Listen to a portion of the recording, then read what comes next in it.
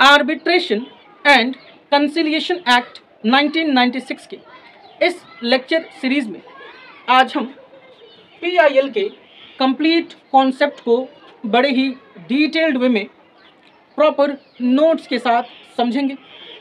अगर आप इस वीडियो को एंड तक देखते हो तो पीआईएल का जो कॉन्सेप्ट है, वो आपको कंप्लीटली समझ में आ जाएगा। और आपके पास एक अच्छा नोट्स भी तैयार हो जाएगा। राइट ये वीडियो एडीआर के ऊपर लास्ट वीडियो है। अपने अब तक के वीडियोस में हमने आर्बिट्रेशन एंड कंसिलिएशन एक्ट 1996 से जो भी इम्पोर्टेंट टॉपिक्स हैं, जहाँ से क्वेश्चंस पूछे जाते हैं, उन सभी टॉपिक्स को, उन सभी सेक्शंस को हमने कवर कर लिया है।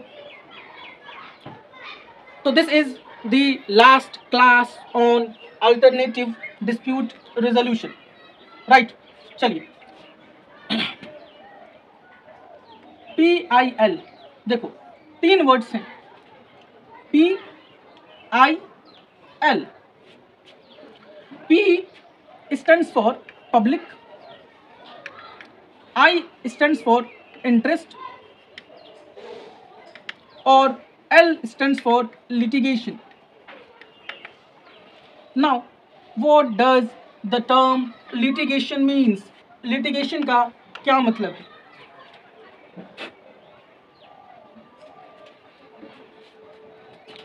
लिटिगेशन ये बेसिकली एक प्रोसेस है by which you can take legal action एक प्रोसेस जिसे फॉलो करके आप लीगल एक्शन ले सकते हो. It is basically a petition which you can institute in court of justice तो क्या हम ये कह सकते हैं पब्लिक इंटरेस्ट लिटिगेशन बेसिकली वो लिटिगेशन है जिसके थ्रू आप पब्लिक के इंटरेस्ट को सेफ़ गार्ड कर सकते हो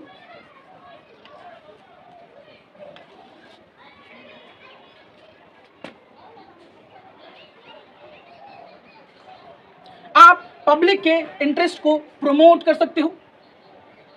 वही क्या है? पब्लिक इंटरेस्ट लिटिगेशन है।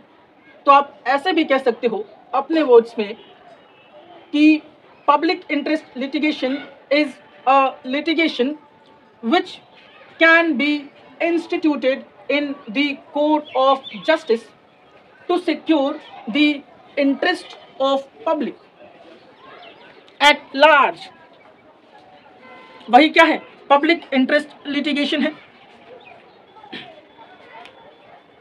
इन सिंपल वर्ड्स हम ये कह सकते हैं कि it is lawsuit which may be filed by anybody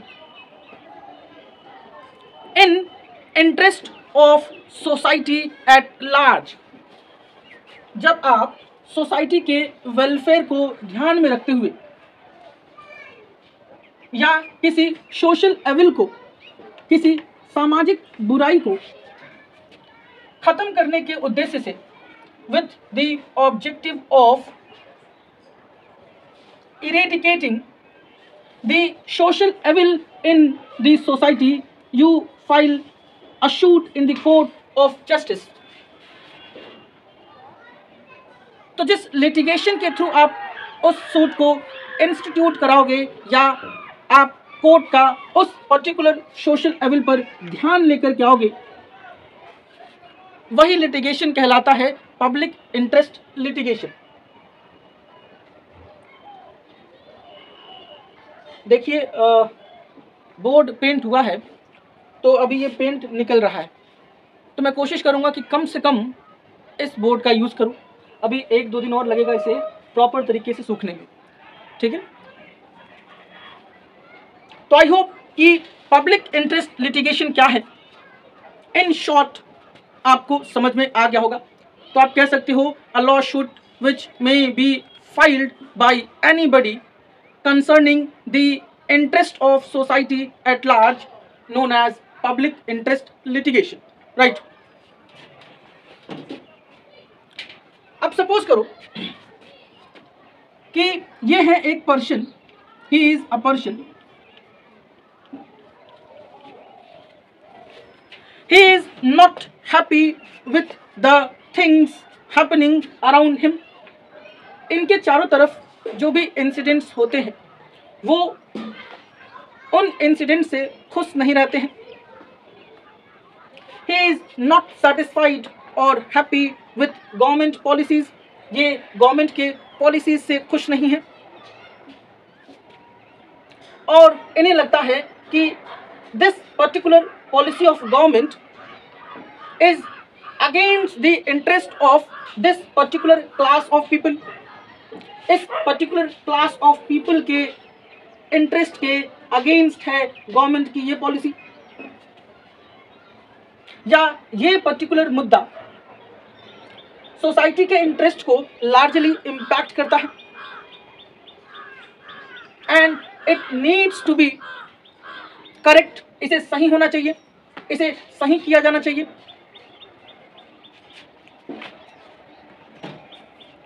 या this particular thing leads to the of fundamental rights of people लोगों के फंडामेंटल राइट्स को यह वॉयलेट करता है।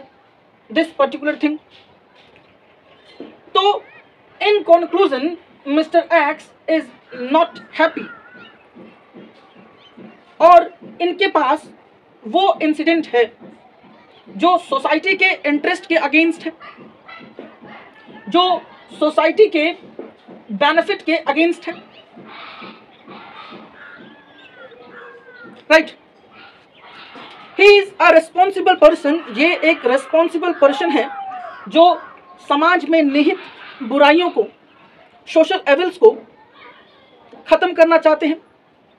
He wants to transform those evil consequences or those social evils. So legally he is having an option he may adopt this particular tool ये PIL को adopt कर सकते हैं और PIL के थ्रू ये कोर्ट के ध्यान को उस पर्टिकुलर सोशल एविल के तरफ़ ला सकते हैं तो लीगली इन्हें एक वेपन मिला है कि वो पीआईएल का यूज़ करके उस सामाजिक बुराई को खत्म कर सकते हैं। तो what is PIL it is it is it is a weapon it is a weapon to eradicate the social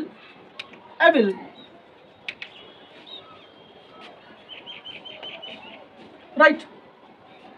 And it may be filed by any person.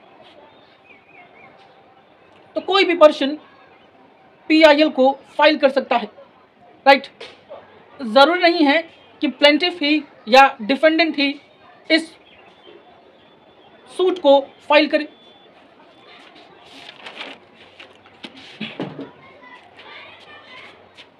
Now PIL के कॉन्सेप्ट को इवॉल्व करने के पीछे का reason क्या था? देखो, हम जानते हैं कि there is disparity of income in this society आज भी हमारे देश में ये जो इनक्वालिटी ऑफ़ इनकम है, इतना ज़्यादा है कि around 50 percent of national income किसके हाथ में है? टेन परसेंट ऑफ़ पॉपुलेशन के हाथ में है। और बाकी का जो फिफ्टी परसेंट है, वो नाइन्टी परसेंट लोगों के हाथ में है। तो there is huge disparity of income among the people तो एक पर्सन जो कि, एक पर्सन एक पर्सन जो कि गरीब है। He is poor he is not capable to bear the litigation expenses तो इसके बिहाफ में कोई दूसरा पर्सन जो कि रिस्पॉन्सिबल पर्सन है, जो कि वेल्दी पर्सन है, इसके बिहाफ में हाँ लेकिन वो जो इशू है, वो एक सोसाइटी को, वो पीपल को लार्जली इम्पैक्ट करना चाहिए। तो एक person who is wealthy person who is rich person who is responsible person वो इन पर्सन के इंटरेस्ट को ध्यान में रखते हुए इन पर्सन के तरफ़ से एक लिटिगेशन फ़ाइल कर सकता है in the court of justice उस लिटिगेशन को हम कहेंगे पीआईएल ठीक है? जो कॉन्सेप्ट ऑफ़ पीआईएल है, वो ओरिजिनेट हुआ था और डेवलप हुआ था यूएसए में।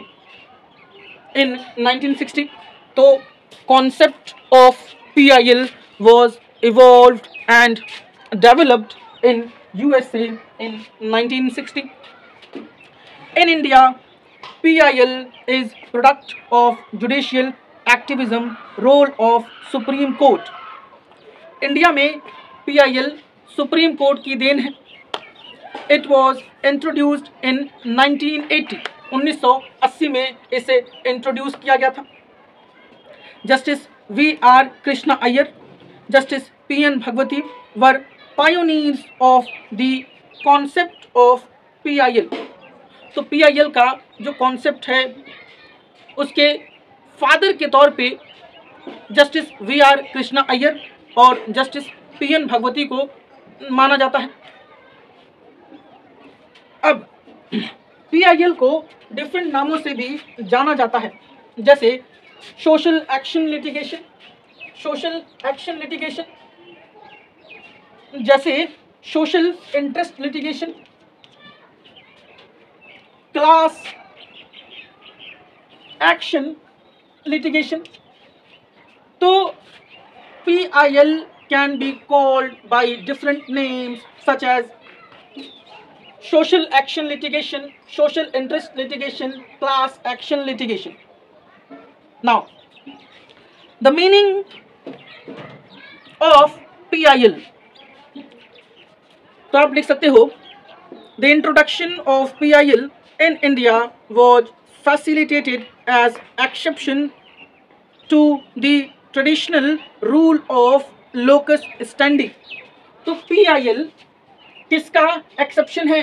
It is exception of the word locus standi और लोकस स्टैंडी का मतलब क्या है? According to this rule only that person whose right are inference can alone move to the court for remedies where as P I L is exception to this general rule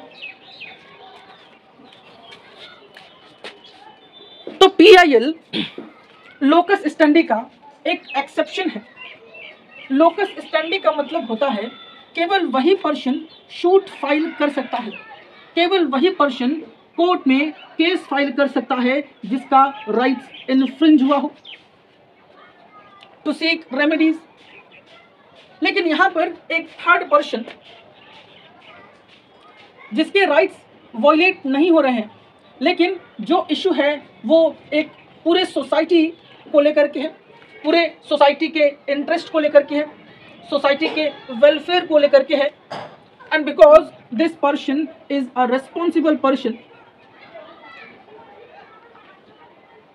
और इस society में जो लोग रह रहे हैं they are not much wealthy person they cannot afford litigation expenses तो इनके बिहाफ पर इस रेस्पॉन्सिबल पर्सन ने पीआईएल के थ्रू एक सूट फ़ाइल कर दिया कोर्ट में। तो इसका कोई राइट इन्फ्रिंज नहीं हो रहा है, फिर भी he may file a suit in the court of justice तो पीआईएल क्या है? It is an exception of locus standi rule ठीक है? Under PIL any public spirited citizen और सोशल ऑर्गेनाइजेशन तो कोई भी responsible person या कोई भी social organisation can move the court court जा सकती हैं for enforcement of right of any person किसी भी पर्सन के राइट्स के एनफोर्समेंट के लिए, किसी भी पर्सन के राइट्स के रेस्टिट्यूशन के लिए, और group of person who because of poverty और ignorance or socially and economically disadvantaged position, are themselves unable to approach the court. किन्हीं रीजन से वो पर्सन क्या हैं? Not able to approach the court तो उनके बिहाफ पर that third person may knock the court's door through a weapon and that weapon is known as PIL ठीक है? Thus, in PIL, any member of public having sufficient interest can approach the court for enforcing rights of other persons and redressal of common grievances. Right. Now, what is the real purpose of PIL? तो पहला कहता है confirmation of rule of law. To confirm that India is a country where rule of law exists, जहाँ कानून का शासन चलता है। एंड देर इज़ आर्टिकल 14 जो कि equality before law and equal protection of law की बात करता है which is rule of law तो रूल ऑफ़ लॉ के कन्फर्मेशन के लिए, ये एक तरफ़ से क्या है? It is a boon right दूसरा facilitating access to justice to socially and economically weaker sections of the society इससे क्या होगा? जो जस्टिस है, वो उन पर्सन को भी मिल पाएगा जो कि पुअर है। जो कि बैकवर्ड हैं आइदर इकोनॉमिकली और सोशली जो अंडर प्रिविलेज हैं, उनके राइट्स को भी सिक्योर किया जाएगा। Protection of fundamental rights of social disadvantage person उनके फंडामेंटल राइट्स को भी प्रोटेक्ट किया जाएगा। Expansion of fundamental rights of citizen लोगों के फंडामेंटल राइट्स को एक्सपेंड किया जा सकता है।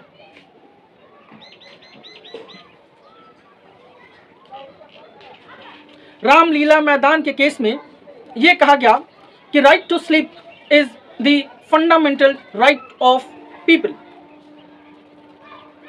तो time to time courts article 21 के तहत लोगों का जो फंडामेंटल राइट है, उसे एक्सटेंड कर रही है। उसके स्कोप को और भी ज़्यादा वॉइडर कर रही है। तो it is what it is a weapon to extend the fundamental rights of citizens फिर लास्ट कहता है to ensure corruption free administration तो अगर हम सोसाइटी के इन एविल्स को, इन बुराइयों को पीआईएल के थ्रू ख़त्म करेंगे तो कहीं ना कहीं जो करप्शन है वो ख़त्म होगा।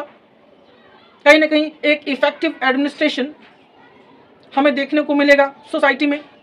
लोगों का जो स्टैंडर्ड ऑफ़ लिविंग है, वो अपलिफ्ट होगा। लोगों का जो फेथ है जुडिशरी में, वो इंक्रीज करेगा।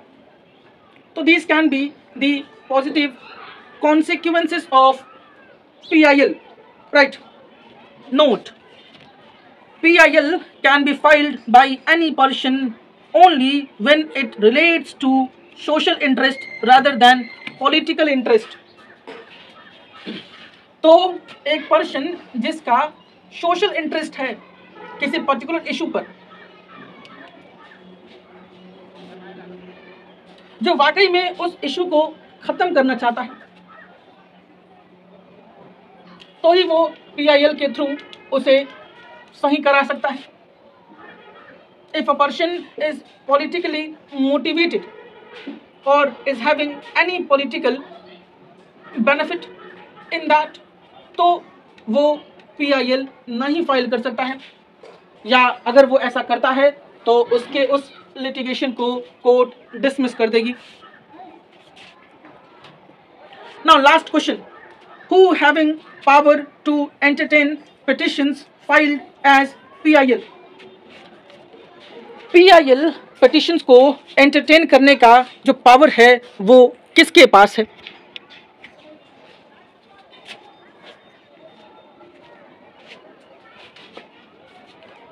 तो कहता है एज पर आर्टिकल 32 सुप्रीम कोर्ट के पास and as per article 226 high courts के पास।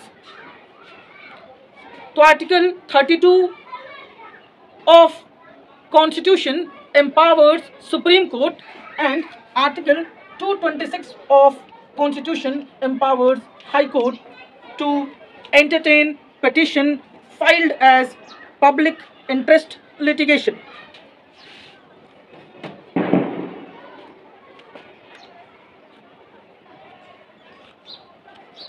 And here court is constitutionally bound to protect the fundamental rights of the people लोगों के फंडामेंटल राइट्स को प्रोटेक्ट करने के लिए जो कोर्ट हैं, यानी हाई कोर्ट और सुप्रीम कोर्ट क्या है कॉन्स्टिट्यूशनली बाउंड हैं, और ये डायरेक्ट कर सकती हैं स्टेट को to fulfil its constitutional promise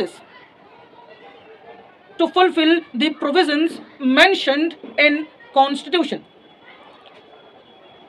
ठीक है?